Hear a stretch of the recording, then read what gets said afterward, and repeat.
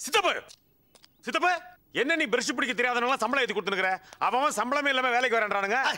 சம்பளமே இல்லாம அந்த காலத்துல எவ்வளவு வளைக்கிறோமா ஒப்பளம் வருமா? அப்ப இல்ல அப்ரண்டிஸ் அப்ரண்டிஸா அப்படின்னா ஆபரேஷனா சம்பளமே இல்லாம வேலை செய்யறவங்க எது? சம்பளமே இல்லாமலையா?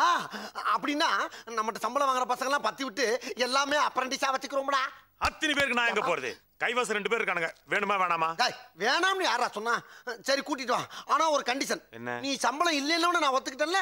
அதே மாதிரி திங்கிறதுக்கு தங்குறதுக்கு நான் இல்லையுமே நீ ஒத்துக்கணும். சித்தப்பா நாம நாளைக்கு எங்க வேலைக்கு போறோம்? ஜமீன் மங்களாவுக்கு. அங்க தங்கறதுக்கு திங்கிறதுக்கு நீயா குடுக்குற? அவங்க தானே குடுக்குறாங்க. ஆமா. மறந்தே போச்சுடா. அப்ப கூட்டிட்டு வா. ஐயே வாய பாரு. என்ன? வள்ளல்ல